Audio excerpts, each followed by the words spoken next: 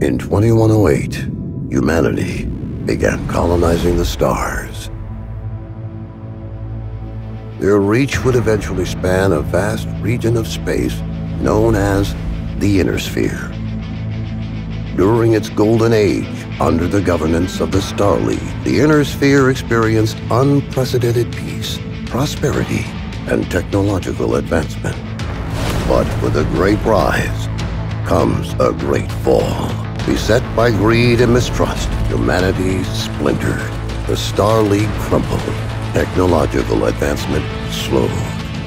The great houses, each vying for supremacy, turned on one another, engaging in a series of conflicts known as the Succession Wars. Amidst this chaos, mercenaries became the proxy forces for the great houses. Numerous battlefields sprung up across the inner sphere, dominated by hulking war machines known as battle mechs. The year is now 3015, and these steel behemoths have become the tools of the mercenaries' trade.